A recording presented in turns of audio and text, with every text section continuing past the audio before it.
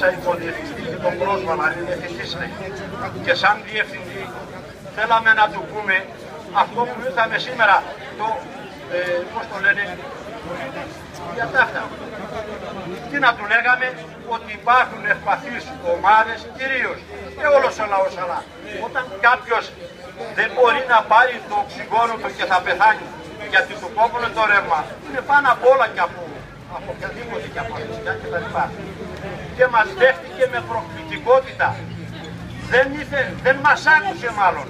Με τα χέρια στις τσέπες λες και μπήκε ποιος μπήκε. Και δεν μας επέτρεψαν να πούμε. Σπρώχοντας μπήκαμε, δεν θέλανε να μας ακούσουν. Δεν μας αφήνουν να πούμε.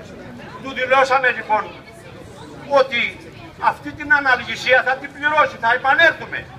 Δεν θα αφήσουμε με κανέναν τρόπο τους συναδέλφους μας να πεθάνουν δίχως, ε, δίχως τα απαραίτητα. Θα εξετάσουμε την κατάσταση και εδώ είμαστε, θα επανέλθουμε. Τι θέλουμε από εσάς; Όταν θα σας ξανακαλέσουμε, να είστε αλητώσοι, είναι φυσικό αυτό.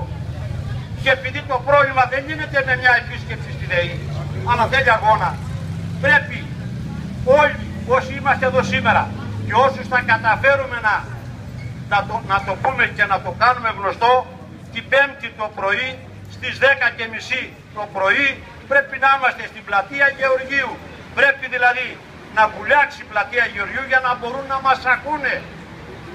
Και αν βουλιάξει δυο φορές τότε θα, θα υποχωρήσουν